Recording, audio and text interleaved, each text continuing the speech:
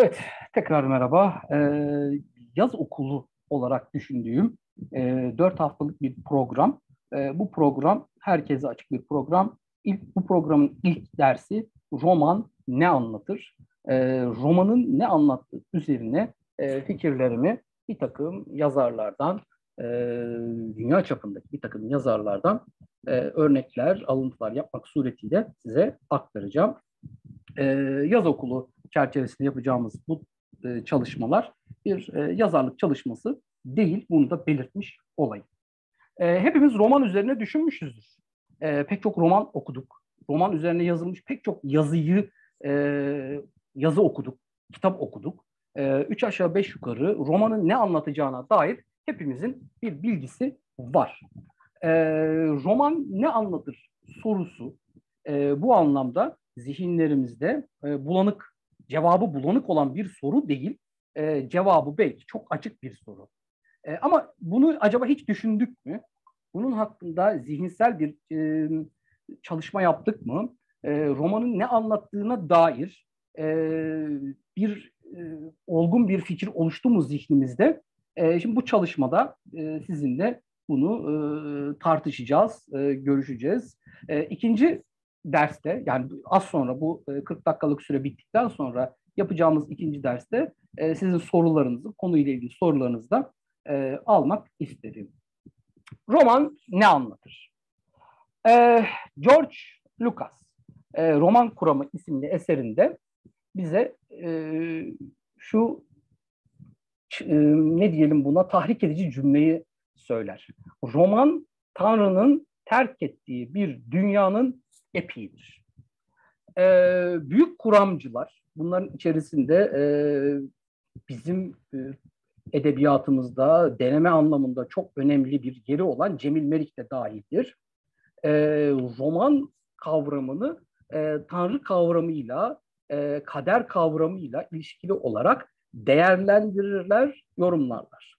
E, yani e, romanın e, önceki anlatılardan, roman öncesi anlatılardan farkını ortaya koyabilmek için e, romanın epistemolojik durumuyla ilgili, yani bilgi kuramıyla, e, bilgi kuramına bakan yönüyle ilgili bir takım e, düşünceler üretmiştir e, sözünü ettiğim e, kuramcılar. E, Lucas da e, romanın Tanrı'nın terk ettiği bir dünyanın epi olduğunu söylerken e, tam da roman öncesi anlatılarla e, roman arasında e, katı, sert bir sınırın bulunduğunu, çizginin bulunduğunu ve e, bu çizginin asıl itibariyle e, Orta Çağ'ın din anlayışıyla yakından ilişkili olduğunu söyler. Peki e, roman Tanrı'nın terk ettiği bir dünyada bize ne anlatır? E, Lucas bu soruyu e, Lucas daha doğrusu bu cümleyi söylerken aynı zamanda e, sizin de fark ettiğiniz üzere e, romanın da bir epik oldu. Yani roman öncesi anlatıların bir devamı olduğunu e, bir biçimde bize hissettirir, duyurur. Bu ne demektir? Roman öncesi anlatılardan söz ederken, bahsederken e, genellikle destan, efsane, mitoloji, değil mi? Halk hikayesi, e, masal gibi e, sözcükler kullanıyor. Bu sözcükler birer e, anlatı türünün e, karşılığı, e, kavramsal karşılığı olarak karşımıza çıkıyor. Ancak bu sözcükler aynı zamanda, bu, bu kavramlar, bu türler aynı zamanda e, romanın da atası olan türlerdir. Romanın atası olan bu türler, e, bu türlerden söz ederken özellikle destan ve efsaneden yani mitolojik anlatılardan söz ederken biz daha çok özellikle destan için epik kavramını kullanırız. Epik zaten e, destan anlamına e, gelmektedir. E, Lucas romanın Tanrı'nın dünya Tanrı'nın terk ettiği bir dünyanın epiği olduğunu söylerken aslında bize romanın e, eski anlatıların bir devamı olduğunu da e, hissettiriyor, duyuruyor. E, o zaman aklımıza şu soru geliyor. Acaba roman dan önceki anlatılarda e, söz konusu edilen şey neydi? Tanrı mıydı yoksa e, başka bir şey miydi? Anlatılan neydi? Şimdi biz sırayla yavaş yavaş buna geçelim. Özür dilerim. Ee, Yıldız Ecevit, Türk romanında postmodernist açılımlar isimli e, harika bir e, eseriyle e, bizim dimağımızı zenginleştirmiş e, bir hocamız, büyüğümüz. E, sanat yapıtı içinde bulunduğu koşulların ürünüdür diyor bu eserinde. Sanat yapıtı içinde bulunduğu koşulların ürünüdür demek ne demektir? E, herhangi bir sanat eseri, roman, e, resim veya e, işte heykel her neyse hiç fark etmez. E, hangi çağda üretiliyorsa, hangi çağın koşullarıyla üretiliyorsa ister istemez o çağın e, koşullarını hem biçimine hem de içeriğine yansıtır. E, mikrofonlar arkadaşlar, mikrofonları tekrar hatırlatıyorum. Lütfen kapatalım. E, ister istemez yansıtır. E, dolayısıyla e, o çağın bütün verimleri, getirileri e, o edebi eserde bir biçimde görünür. Görünür hale gelir. Az önce de söylediğim gibi ya biçimsel anlamda ya da e, muhteva düzleminde yani içerik düzleminde o çağın koşullarıyla bir biçimde e, sanat eserinde karşılaşırız. E, bazen e, bir sanat eseri e, o çağın koşullarını e, hem biçimsel hem de e, içerik açısından yansıtamayacaksa ortaya ister istemez yeni bir tür çıkar. İşte roman böyle bir e, yeni türdür. Biraz sonra e, söz edeceğiz bundan. E, yani yeni insan modelini karşılayabilecek e, o insanın e, ufkunu, bakış açısını, hayat içerisindeki konumunu, e, ekonomik düzlemdeki e, faaliyetlerini yansıtabilecek bir edebi türe ihtiyacımız varsa elbette ki hali hazırdaki türler de e, bunları anlatmaya yetmiyorsa ister istemez e, o çağ kendi içerisinden yeni bir tür, e, bir gelenek bağlamında, o geleneğin bir e, e, şeyi olarak, zinciri olarak yeni bir tür e, icat etmek ya da oluşturmak, yaratmak zorunda kalır. E, insanların gerçekliğe dair algısının da biz e, o koşullar, o e, dönemin, çağın koşulları çerçevesinde belirdiğini biliyoruz. E, gerçekliğe dair algılar aynı zamanda bize e, o sanatla ilgili icra ettiğimiz işin, yaptığımız işin e, mahiyetini de verir ister istemez. E, gerçeklik çevremizi kuşatıyor. E, bir biçimde biz bu gerçeklikten etkileniyoruz. E, belki bu gerçeklik katı sert bir biçimde kendini hissettirirken bazen e, bizim hiç de farkında olmadığımız bir biçimde e, zihnimize nüfuz ediyor. Ve biz bütün yaşamımızı e, bir biçimde bu gerçekliğe dayalı olarak e, kurmak durumunda kalıyoruz. Peki bu gerçeklik kavramını tanımlarken biz gerçeklikten söz ederken biz aynı zamanda e, yine Yıldız Ecevit Hoca'ya gönderme yaparak ifade edersek e, kozmolojiden de söz etmek zorundayız. Değil miyiz daha doğrusu? Öyle sorayım size. Evet zorundayız. Kozmoloji evren bilimi anlamına geliyor. E, uzay bilimi ya da evren bilimi anlamına geliyor. İnsanların evreni nasıl algıladığına dair üretilmiş bilimsel bilgilere biz kozmoloji diyoruz. Bunun edebiyatla ne gibi bir ilgisi var? Ee, bunu Yıldız Ecevit'in kitabını okursanız ki ben size bir e, bu çalışmanın sonunda bir e, kitap listesi de önereceğim. O kitap listesinde Yıldız Ecevit Hoca'nın kitabı da var.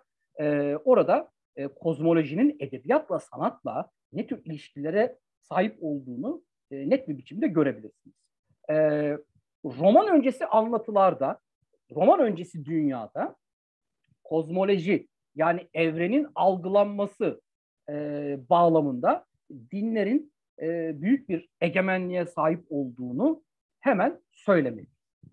E, dinler işte aslında biz en başta e, Lukas'tan aldığımız alıntıyla roman tanrının terk ettiği dünyanın epiğidir sözünü buradan bir anlamda e, değerlendirmiş olacağız, e, açıklamış olacağız e, dini kitaplarda e, yazılan, anlatılan, anlatılan her şey bize aslında belki sohbetlere ben cevap veremeyeceğim arkadaşlar şimdi. İsterseniz ikinci derste sorun bana soruları o zaman konuşalım. E, dini kitaplarda anlatılan e, çerçevesi çizilmiş e, bir dünya vardır. Bu dünya sizin de bildiğiniz üzere e, Tanrı'nın inşa ettiği bir dünyadır. Tanrı'nın inşa ettiği bir dünya e, bize aslında e, bir kozmoloji görüşünü de verir. Kozmoloji e, görüşü, evren görüşü, evrene dair e, algılama biçimi e, tamamıyla e, Tanrı'nın e, belirlediği e, şartlar çerçevesinde oluşur ve gelişir. Her şeyin yeri bellidir. E, bu dünyada, bu dünyanın akışıyla ilgili, öte dünyayla ilgili her konuda dini kitaplar, hangisi olursa olsun, e, dini kitaplar muhakkak bir şey söylemiştir. Dolayısıyla e, roman öncesi anlatıların e, kozmolojik görüşü de e, tamamıyla bu dini e, referanslarla oluşturulmuştur. Evren, evren tanrısal bir bakış açısıyla algılanmıştır. E, aynı zamanda Orta Çağ'dan söz ediyorum tabii. Aynı zamanda Orta Çağ'ın bu e, kozmolojik görüşü e, antik Yunan'dan, Aristo'nun fizik anlayışından da çok ciddi bir biçimde etkilenmiştir. Siz de biliyorsunuz Aristo'nun estetiğinde değil mi e, estetik e, kitaplarında estetikle ilgili derslerde İsmail Tunalı'yı özellikle tavsiye ediyorum. E, Aristo'nun görüşlerine çok fazla yer verilir. Aristo da düzene e, çok önem verir. E, o düzen bu dünyanın akışı için oldukça önemlidir. Onun fizik görüşü içerisinde e, düzenin çok apayrı bir yeri vardır. E, ve Orta Çağ'ın e, Hristiyan dini anlayışı da bundan nasibini almıştır elbette. E, biraz da belki ruhban sınıfın etkisiyle e, bir e, kozmoloji e, anlayışı, evren anlayışı kurulmuştur ve bu evren anlayışı ister istemez sanatsal eserlere değil mi bir biçimde yansımıştır. Ki bizim için önemli olan nedir? Aslında anlatılardır, sanatsal eserlerdir. Biz burada yani bu e, dersin çerçevesi e, içinde daha çok bunu görmeye, kavramaya, anlamaya çalışıyoruz. E, roman öncesi anlatılarda e, insan, dönemin insanı e, kendisini belirlenmiş e, şartlar içerisinde e, ki bir dünyada bulur. Böyle bir dünyada yaşamını sürdürür. Bu dünyada az önce söylediğim gibi e, dönemin kozmoloji anlayışıyla, evren anlayışıyla, gerçeklik anlayışıyla yakından ilişkilidir. E, daha çok Tanrı'nın e, kutsal kitaplarda emrettiği ilkeler çerçevesinde kilisenin de desteğiyle mutlakiyet anlayışı çerçevesinde oluşturulan bu dünyada tesadüfe yer yok. Her şey e, nizamidir ve o nizama göre belirlenmiştir. E, o dünyada Tanrı egemendir. Tanrı belirler. Ve dolayısıyla her şeyi Tanrı belirler. Dolayısıyla bütün sanat eserlerinde de bunun varlığını görmek mümkündür. Bir bakıma, bir bakıma e, o sanat eserlerinde, roman öncesi sanat eserlerinde karşımıza çıkan e, evren e, bize aynı zamanda kaderin de e, Tanrı tarafından yaratıldığını ve insanın bu kaderi e, kendi eliyle şekillendiremeyeceği düşüncesini de e, vermektedir. Pek çok destana, efsaneye, kendi destanlarımızda, kendi kültürümüzdeki destanlar da dahil olmak üzere baktığımız vakit, e, halk hikayelere de hakeza baktığımız vakit görürüz ki e, bir düzen vardır, yapısal bir düzen vardır. O yapısal düzen içerisinde olaylar belli bir akışa göre ilerler. Değil mi? Kavuşma yoktur örneğin. Sevgililer hiçbir zaman cinsel ilişki yaşamaz. E, ne bileyim e, asıl kavuşulması gereken sevgili bu dünyadaki sevgili değil Tanrı'dır örneğin. Kahraman her zaman mesela Oğuz Kağan her zaman başarılı olmaya yazgılıdır. Değil mi? Bamsı Beyrek mesela. Yazgılıdır. Ya da trajediler, trajedilerde muhakkak baş kahraman trajik bir sonla karşılaşır. Bir takım e, mücadelelerden geçerek o mücadeleleri e, mücadelelerde e, pek çok e, şeytanla, daimonla savaşarak sonunda sonunda e, kendisini bekleyen trajik sonla karşılaşır. E, belirlenmiş bir dünya vardır derken kastettiğim şey bu aslında. Yani Tanrı'nın egemen olduğu bir dünyada e, buna itirazlar da gelebilir. Tanrı'nın egemen olduğu bir dünyada her şeyin de dinsel kurallarla kurulması e, oldukça normaldir e, ve olağandır. Peki, e, romanda durum nasıldır? Özür dilerim. Romanda durum nasıldır? Roman e, yine Lucas'ın e, en başta söylediğini sözüne dönelim. Neymiş? Ne diyor Lucas? Herkes görebiliyor mu? Görebiliyor şu anda. E, roman Tanrı'nın terk ettiği bir dünyanın epiğidir. Değil mi? E, biz biz e, orta çağdan sonra e, işte yani bunun öncülüleri de var. E, işte Rönesans, Hümanizm ve ardından gelen e, reform hareketlerinden sonra insanın değer kazandığını ve artık bu dünyada e, Tanrı'nın olmadığını düşündüğü ya da Tanrı'yı bertaraf ettiği bu dünyada tek egemen olmaya başladığını e, ve kendi kaderini kendisi kurmak için çabaladığını görüyoruz. İşte bu yeni bir gerçeklik anlayışını imliyor. Yeni bir gerçeklik anlayışının e, aydınlanmanın getirileriyle e, Rönesans ve Hümanizm hareketleriyle daha sonra dinde yapılan reformlarla da insanın merkeze konulmasıyla birlikte geliştiğini e, değil mi e, görüyoruz. Bununla e, açık bir biçimde karşılaşıyoruz. O zaman şunu net bir biçimde söyleyebiliriz. E, roman bu dünyanın insanını anlatır. Roman neyi anlatır? Roman neden bahseder? Roman modern insandan bahseder. Modern insanı anlatır ve biz bunu birey kavramıyla doktora tezimde de ben buna değinmiştim. Müzeykiyle de yaptığım konuşmada e, bu çerçevede e, bir takım e, görüşlerimi öne sür, anlatmıştım orada. E, roman bireyi anlatır. Bu dünyanın insanını anlatır. E, asıl bu dünyada yaşayan insandır söz konusu edilmesi gereken. E, kendi kaderini çizen, e, kendi hayat yolculuğunu bizzat kendisi belirleyen, e, ve Lucas'ın yine tabiriyle epik bireyin yani bu dünyada e, bu dünyanın e, verileriyle, bu dünyanın zorluklarıyla kendi dünyasını inşa eden e, bir kahramanın dünyasıdır.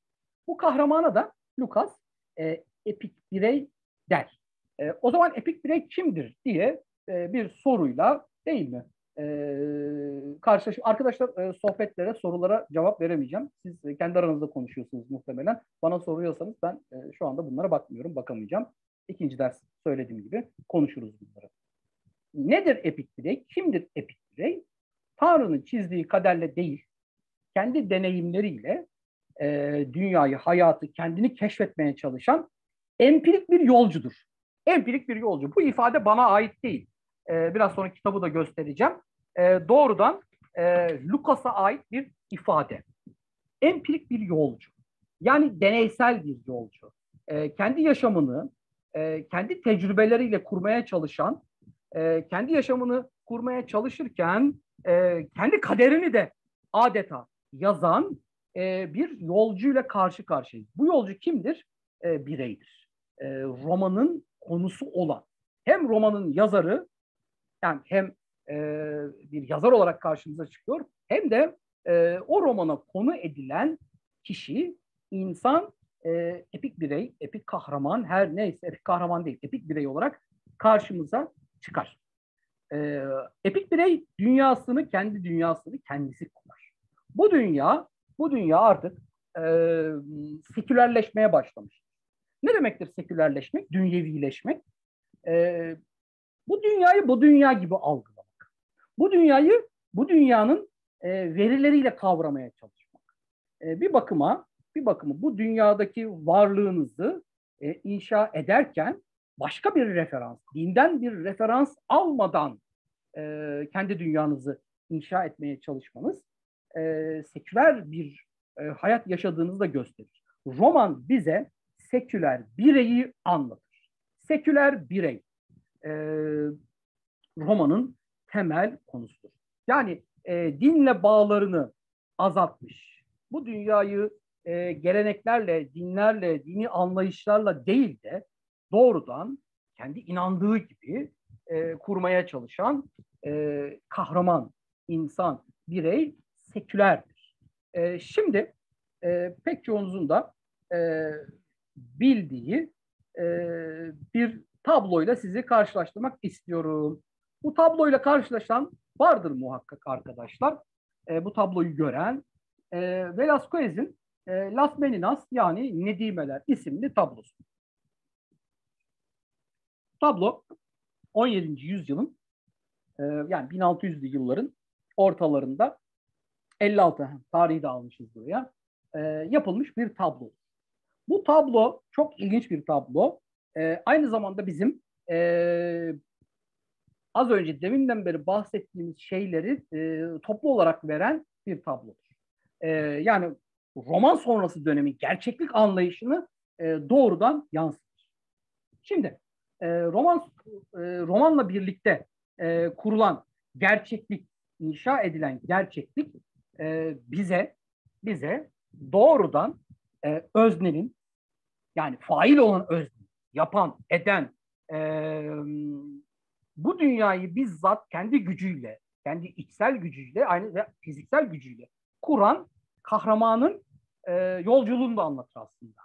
E, burada ressam tabloya kendini de eklemiştir. Velasquez şu anda benim imleci oynattığım e, kişidir ve bir e, tablonun önünde yer almaktadır.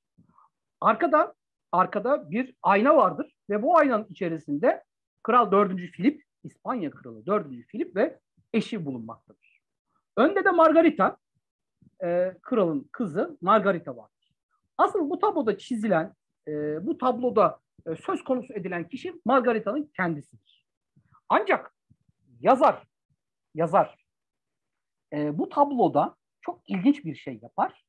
E, çok ilginç bir gerçeklik anlayışına imza atar. Nedimeler buradaki işte e, kadınlar e, da Nedime arkada da bir yardımcı var. Bu muhtemelen e, ressamın kardeşi olduğu e, olduğunu düşünüyoruz. E, bu tabloda ressam farkındaysanız hem e, resim yapandır hem de doğrudan kendini resme dahil edendir.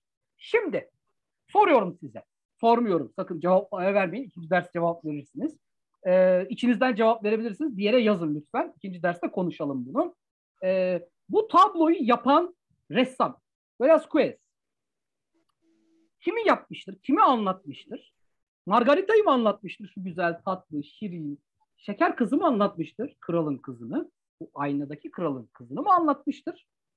Yoksa yoksa e, kendisini mi anlatmıştır? Bu tabloda gören kimdir, görülen kimdir? Bu tablonun konusu, bu tablonun konusu e, bizim e, yeni e, gerçeklik anlayışıyla e, karşılaştığımızı, yeni bir gerçeklik anlayışı kur, kurma, kurduğumuzda gösteren bir olgu. Bu tabloyu çizen ressam aynı zamanda bu tablonun konusudur. İşte e, roman sonrası, niçin resimle anlatıyorum daha kolay olsun diye. E, romanla birlikte ortaya konan gerçeklik anlayışı, arkadaşlar mikrofonları rica edeceğim lütfen kapatalım. Romanla birlikte ortaya konan gerçeklik anlayışı doğrudan doğrudan e, hem yazarın kendisini anlatmasıyla hem de aynı zamanda kendisine benzeyen diğer insanları söz konusu etmesiyle ilgilidir. O zaman şöyle diyebilir miyiz? E, romanla birlikte insan, modern insan e, hem fail olmuştur hem de nesneleşmiştir. Romanın konusu haline gelmiştir diyebilir miyiz? Diyebiliriz. Farkındaysanız oldukça dünyevi bir mesele, oldukça dünyevi bir konu e, burada söz konusu ediliyor. E, ve arkada, e, tabii bu başka şekillerde de değerlendirilebilir, fenomenolojik açısından da değerlendirilebilir ama Arkada da bir ayna var ve bu aynada da e, bizim hiç bu sahnede görmediğimiz bir karı koca var. Filip'le, e, dördüncü Filip'le karısı adını hatırlayamıyorum. O mevcut. E, ve onlar da muhtemelen e, aynaya yansıdıklarına göre tam bizim bulunduğumuz yerde, baktığımız yerde yer alıyor. Ressam da bize bakıyor. Dördüncü Filip de bize bakıyor. Değil mi? E, dördüncü Filip de bize bakıyorsa, ressam da bize bakıyorsa aynı zamanda biz aslında okuduğumuz eserlerde, okuduğumuz romanlarda, e, karşı karşıya geldiğimiz başka sanatsal eserlerde kendimizi görüyoruz. Doğrudan kendimizi görüyoruz. Yani roman, e, bu dünyanın epiği olan roman, empirik bir çabayla e, kahramanı e, bir serüvene e, iten roman aynı zamanda e, neyi anlatıyor, kimi anlatıyor? O romanın yazarını e, ve e, o yazarın içinde bulunduğu toplumun fertlerini, bireylerini anlatıyor. Öyle değil mi? Peki, dünya yani roman sonrası dünya nasıl bir dünya haline gelmiştir? Ee, roman öncesi anlatılarda dünya bütünlüklüdür arkadaşlar. Ee, yani e, çerçevesi çizilmiş bir dünya vardır. Parçalanmamıştır. Bu dünya, öte dünya işte e, yedi kat ilahi komedyada da anlatılıyor ya kat kat dünya. E, işte bizim İslam anlatısında da benzer şeyler mevcut. E, çeşitli evrenler var değil mi? E, o evrenler e, bu dünyayı oluşturan evrenler ve aynı zamanda bir öte dünya var. Her şeyin yeri belli. Yaşıyorsunuz. Günahlarınızla, sevaplarınızla ölüyorsunuz ve sonra sıgaya çekilip e, Sırat Köprüsü'nden geçip e, başka bir dünyaya adım atıyorsunuz. Yani bu dünya bütünlüklü, e, çerçevesi çizilmiş, e, en konu belli, sınırları belli bir dünyadır. Ama romanın dünyası böyle bir dünya değildir arkadaşlar. Romanın dünyası parçalanmış bir dünyadır. Ve e, roman yazarı bu parçalanmış dünyadaki parçalanmış bireyi anlatır bize. Parçalanmış birey hem e, zihnen parçalanmış hem de aynı zamanda e, belki e, çevresindeki e, fiziki dünya açısından parçalanmış olan birey e, anlam aramaya başlar. Anlamı bulmaya başlar. Çünkü anlam roman öncesi anlatılarda doğrudan Tanrı tarafından verilmişti, anlatılmıştı. Ve bunun dışının çıkılması da imkansızdı. Ama romanla birlikte, e, sekülerleşen e, dünya ile birlikte artık anlam da bir yerlere gizlendi e, ve e, romancı e, gizlenen anlamı bir biçimde, romancı diyorum, roman kahramanı bulmaya, aramaya çıktı ve e, dolayısıyla bu aramanın neticesinde de bir serüven geçirmeye başladı. İşte empirik e, empirik e, serüven demiştik ya en başta. E, o, o serüven empirik birey özür dilerim. Empirik birey dediğimiz e, birey işte romanın konusu olan bireydir. E, romanın konusu olan birey bu anlam arayışını bu anlam arayışını dünya deneyimleriyle, yapıp etmeleriyle, e, savrulmalarıyla, e, kırılmalarıyla, dökülmeleriyle, ağlamalarıyla, terk edilmeleriyle değil mi? İnşa et, bulmaya çalışır. Ve o anlamda, o anlamda bu dünyayı kurmak gibi e, bir derde, bir amaca sahip. Roman, roman bu bireyi anlatır işte. Roman ne anlatır sorusunun cevabı budur. Roman bu dünyanın anlam arayan e, parçalanmış bireyini bize anlatır, aktarır. E, roman öncesi anlatılarda böyle bir birey yoktu. Böyle bir insan modeli yoktu. E, her şey belliydi, çerçevesi belliydi az önce söylediğim gibi. Günah belliydi, sevap belliydi ve kahraman buna göre bir yaşam sürüyordu. Ama romanla birlikte ne oldu? Bu durum değişti. Arkadaşlar saniyelerimiz var. E, 40 dakika mühlet veriyor bize biliyorsunuz. Kapanacak şimdi. Aynı linkle e, hemen girelim isterseniz. ikinci derse başlayalım. E, kapatıyorum şimdi herkes için. E, siz de aynı linkle tekrar e, girersiniz. Tekrar devam ederiz. Bekliyorum sizi.